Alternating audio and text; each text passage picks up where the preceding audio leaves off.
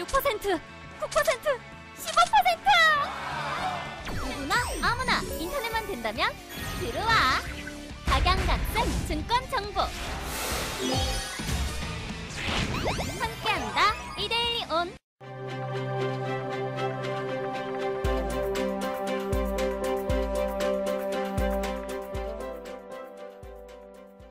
참 어, 카카오페이 경영진 먹튀 논란이 있는데 좀 다른 움직임이죠, 그렇죠? 네. 각 셀스트리온 지금 어, 관련 삼형제들은 지금 상승불 켜고 있는데 뭐 바로 뭐이 논란의 이슈는 자사주 매입, 긍정적인 것들 때문인 것 같아요, 그렇죠? 네, 사실 자사주 매입은 어, 그래도 긍정적인 시간에 저기 바닥에서 돌릴 수 있는 만한 충분한 어느 정도 재료가 될 수 있을 네, 것 같고요. 네. 일단은 과대 낙폭이었습니다. 사실 어느 정도 저는 어, 세이트로 헬스가 그래도 8만 원대 지지를 해줬으면 좋았었는데 그 부분이 좀 무너졌는데 그래도 어, 딱 정말 위험한 시점에서 좋은 기사와 함께 이 부분이 어느 정도 반등에 성공을 한 게 보이는데 저는 여기서 사실 세트리온 그룹 에서 조금 더 이제 노력을 해줘서 자사주 소각까지 매입한 거를 보통 그 매입한 부분까지 소각을 해야지 사실 그렇죠. 선순환 구조거든요. 네, 그래서 네. 그 부분이 있었으면 좋을 것 같고 사실 후속 기사도 사실 기대해 보고 어, 만약에 방송을 보고 계시면은 자사주 소각도 좀 고려를 해주시면은 좀 감사하겠습니다. 그래서 네. 일단은 지수 대비 과대 낙폭한 대표적인 기업이고요. 일단 코로나 19 이전의 주가로 사실 회귀를 했습니다. 좀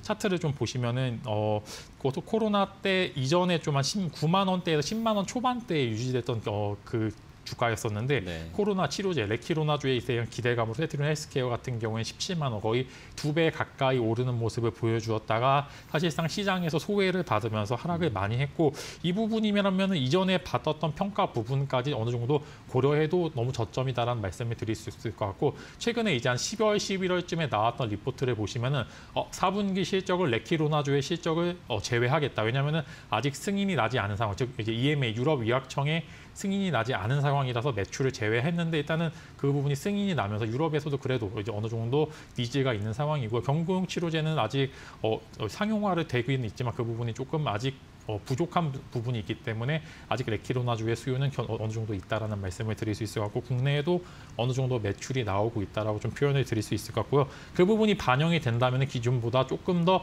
뭐 탑 포인트를 좀 높여도 되는 상황이기 때문에 저는 지금 현재 주가도 굉장히 매력적인 구간이라고 보시면 좋을 것 같고 4분기 컨센서스가 그래도 어느 정도 상향되는 모습을 보여주고 있기 때문에 어, 지수 쪽 흐름이 어, 괜찮다면 조금 더 갈만하다라고 말씀을 드릴 수 있을 것 같습니다. 네. 수급도 뭐 외국인 기관 좀 긍정적으로 양호해 보이는데요. 네. 어떻게 보세요? 기술적 분석? 어, 네. 일단은 어, 사실 굉장히 위험한 자리였는데 정말 잘 돌렸습니다. 여기서 안 돌렸으면 정말 위험했었는데 그래도 외국인들의 매수세가 좀 동반이 되면서 그렇죠. 어느 정도 어, 그래도 이제 지옥에서 사실 돌아왔다라는 표현을 좀 말씀을 드려서 네, 드리고 네. 싶은데 일단은 그 부분이 조금 괜찮다라고 좀 말씀을 드릴 수 있을 것 같고요. 일단은 네. 대차 잔고를 좀 보시면 좋을 것 같은데 대차 잔고 세트리온 헬스케어도 일부 공매도 상환이 이루어지면서 그 부분이 외국인들의 순매수세로 좀 유입이 되는 모습을 보여주고 있는 것 같습니다. 네.